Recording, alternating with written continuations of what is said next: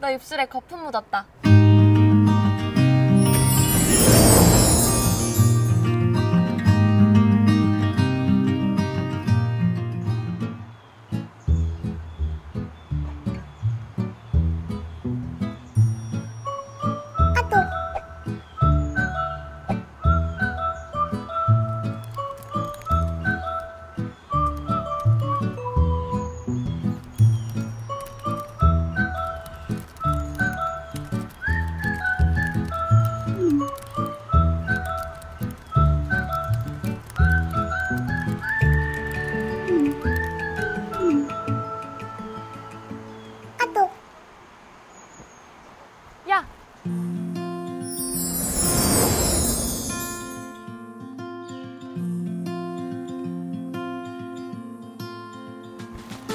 뭘 그렇게 뚫어져라 봐? 혹시 너 얼굴에 뭐 묻었나? 그럼 아름다움이 묻었나? 장난이야. 근데 너 요즘 걱정 많다더니 진짜 얼굴 많이 상했네. 무슨 취업 걱정을 그렇게 과하게 해. 야, 아직 밥 안 먹었지? 오늘 점심 내가 쏜다. 콜?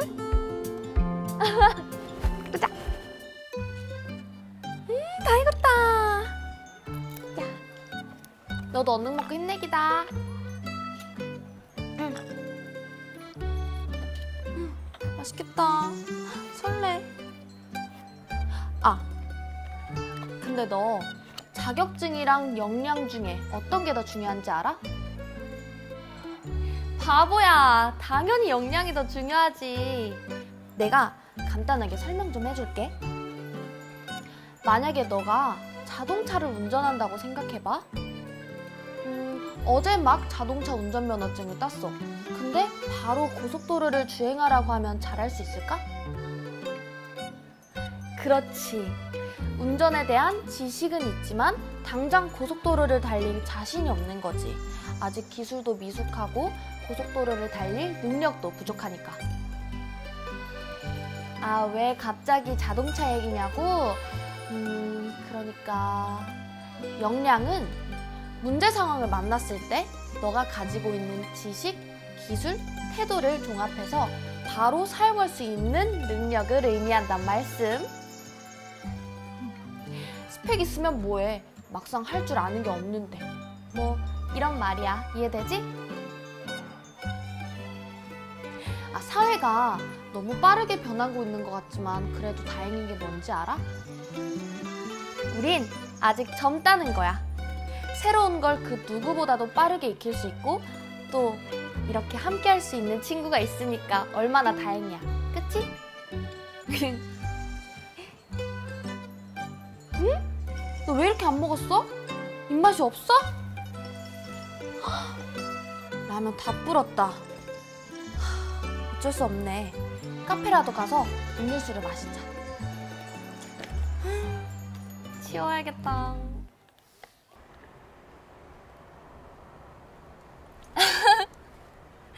너 입술에 거품 묻었다.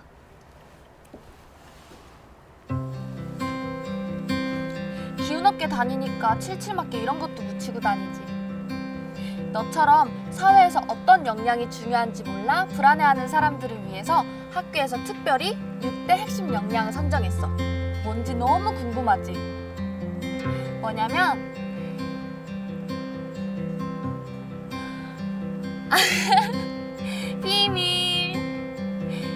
역량은 위인전에 들어가 보면 잘 나와 있어.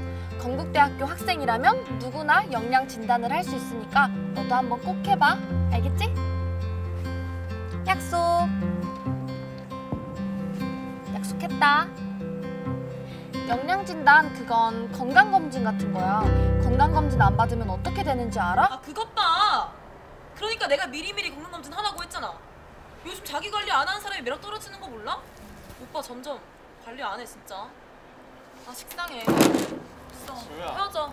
내가 잘못했어 지우야 지우야 아 놔. 봤지? 건강검진처럼 챙기지 않으면 상황만 더 악화시키게 되는 거라고. 검진을 해보면서 스스로 부족한 역량이 뭔지 알 수 있고 또 그에 맞게 어떤 프로그램을 들으면 좋을지도 추천해줘. 돈 드는 거 아니니까 한번 꼭 해봐.